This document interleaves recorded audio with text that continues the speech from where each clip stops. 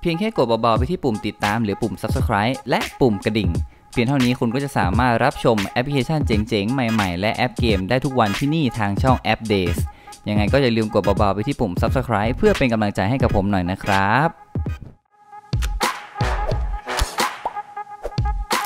สวัสดีครับกลับมาพบกับแอป Days เช่นเคยนะครับผม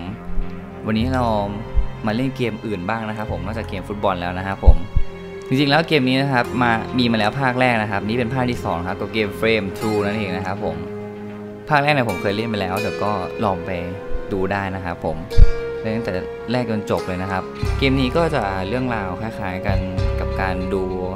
อ่านหนังสือการ์ตูนนะครับ จะเปลี่ยนเป็นเฟรมเป็นเฟรมไปนะครับผม หลังจากที่ภาคที่แล้วนะครับผมเราได้ช่วยชีวิตตัวละครของเราไว้ แล้วก็ตัวละครของเราเนี่ยก็ถือกระเป๋าแล้วก็วิ่งไปนะครับ สุดท้ายเราก็ยังไม่รู้อยู่ดีว่ากระเป๋านั้นมันมีอะไรนะครับ แล้วทำไมต้องตามล่าไอ้กระเป๋าใบนี้กันนะครับ ผม โอเคเดี๋ยวเรามาเริ่มด่านแรกเลยครับ นี่หยิบแว่นก่อนสวมแว่นเข้าไป ซึ่งเกมนี้นะครับ ตัวละครนี้มีเอกลักษณ์มากก็คือตัวละครจะเป็นสีขาวดำนะครับ แล้วก็มีขาวตัดดำในแค่บางที่นะครับผม นี่โอเคซ้ายขวาไม่มีใคร เดินไปดีกว่านะครับ นี่ครับ สุดท้ายก็ยังมีผู้หญิงคนนี้นะครับ ไม่รู้ว่าเป็นใครนะครับ ก็ยังตามเรามาตั้งแต่ภาคแรกนะครับ เพื่อช่วงชิงกระเป๋าใบนี้ โอเค เดี๋ยวเราจะสลับด้านล่างก่อนปึ๊บถ้าเราไม่สลับนะครับ มีเดินเหยียบไม้ตกน้ำแน่นอนนะครับ ทุกคนยังตามล่ากระเป๋าใบนี้นะครับสองสามรอบแล้วนะครับผม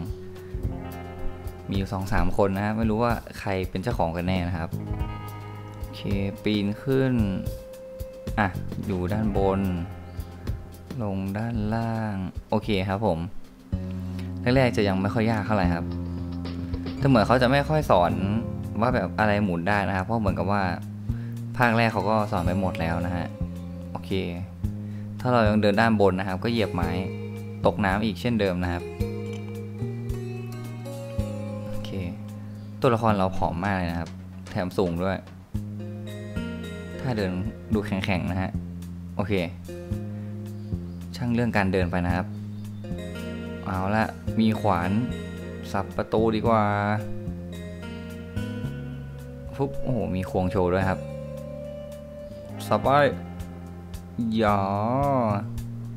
สับเลย นี่ถูเบาเหลือเกินครับ เป็นคอนนะฮะ โอเค ถูไม่ผ่าน ขออีกที เน้นเน้น เป็นการดูที่นุ่มนวลเหลือเกินนะครับ อ้าว มาแล้วไงครับ ตัวละครที่สามนึกว่าตายไปตั้งแต่ภาคแรกแล้วนะครับ ยังกลับมาอีก โอเค เฮ้ย อ้าว โดนหมาไล่แล้วครับไปแล้ว วิ่งมาแล้วก็ โอ้ โดนหมากัด อืม ผมว่าถ้างั้นมันต้อง ถ้าหมาปีนไม่ได้หรือเปล่าว่าวิ่งออกมาถนนก่อนแล้วก็เจอกำแพงนะครับ แล้วก็อาจจะปีนขึ้นกำแพงไป แล้วมันจะไปต่ออยังไงวะเนี่ยข้างล่างก็มีตำรวจรออยู่นะครับ โอ้ปีนได้จริงด้วยครับอ๋อสลับกลับคืนได้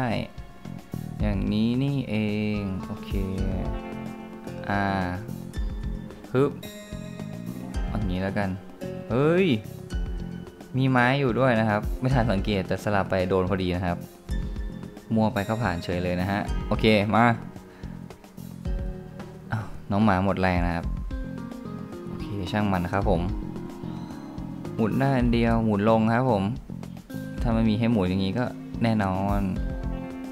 นี่โอ้โหโชว์เทพมีปลากระโดดด้วยครับ เหมือนฉากข้างหลังจะสวยขึ้นนะครับ โอ้โหมาแล้ว ผมเกลียดด่านแบบนี้มากโคตรยาก ไม่ผ่าน เดี๋ยวผมจะดูจาก ผมจะชอบดูจากปลายทางนะครับ ว่ามันไปยังไงนะครับ ปลายทางคือเราต้องขึ้นแล้วก็เลี้ยวขวา มันจะมี 3 อันที่ปรับไม่ได้นะครับ โอเค อันนี้ตีหลังแล้วก็ขึ้นไปข้างบน นี่ครับเหมือนภาพมันจะต่อกันด้วยนะครับ ถ้าลองสังเกตดีๆ แสดงว่าอันแรกต้องหมุน อ่าหมุนหมุนให้ขึ้นไปด้านบนตรงไป น่าจะได้แล้วนะครับ ขวาตรงเอ้ยโอ้ดีนะครับผ่านไปได้ วิ่งตามไม่ทันนะ ลงมาแล้วลงมาแล้ว ตีโค้งไปทุบทุบทุบครับไปแล้ว เย่ yeah, ผ่านแล้วครับ โอเคมาด่านนี้ โอ้ ยังตามมาอีกนะครับ โอเคให้มันเจอแมวก่อนแล้วกัน อันนี้มีสัญลักษณ์แมวนะครับ ถ้าเชื่อมโยงกันได้ โอเคโหเกียรท่าแมวเดินมากเลยนะครับ ดูเชิดมาก มาลูบลูบลูบย่องย่องย่องไปแล้ว นี่ครับ ตามที่คิดไปเลยครับแมวเจอหมาก็ต้องวิ่งไล่กันนะฮะ อ้าวแล้วเราจะผ่านอันนี้ยังไงวะเนี่ย โอเค ผมว่ายังไงแมวก็ต้องเชื่อมกันนะครับ อันสุดท้ายนะอาจจะสลับกันได้ หรือว่าแมวมันจะปีนถังขยะนะฮะ มันมีนกด้วย อาจจะเป็นไปได้อาจจะเป็นไปได้ โอเค สลับเลยปั๊บ ไปเลยครับ ย่องย่องย่องมา อีกอย่างหนึ่งนะครับ คือเกมนี้เนี่ยเขายังคงดนตรีไว้ไพเราะเหมือนเดิมเลยนะครับ แบบเป็นแบบแจ๊สนะฮะเอาจริงแบบพอมีดนตรีในเกมแบบนี้แล้วเล่นโคตรเพลินนะฮะ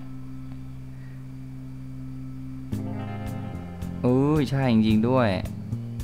มองแมวมองแมว ต้องสังเกตนะครับ มีอะไรเล่นได้เล่นหมดนะครับ เพราะมันช่วยเราผ่านได้จริงๆนะครับ โอ้นี่ไปแล้ว ย่องย่องย่องย่อผ่านแล้ว เยี่ยมครับมันจะเข้าไปในห้องอะไรสักอย่างโอเค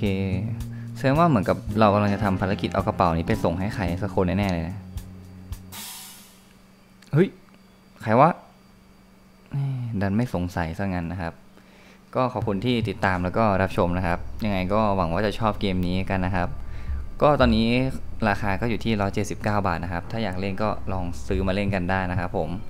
ส่วนตัวเกมนี้ผมก็ยังให้ที่ 9 เหมือนเดิมนะครับ มันยังเจ๋งเหมือนเดิมจริง ๆ นะครับ แล้วพบกันใหม่ครับผม อย่าลืมกดบาไปที่ปุ่ม subscribe ด้วยนะครับ จะได้รู้ว่าด่านต่อไปเป็นยังไงนะฮะ แล้วพบกันใหม่ในตอนหน้าครับ สวัสดีครับ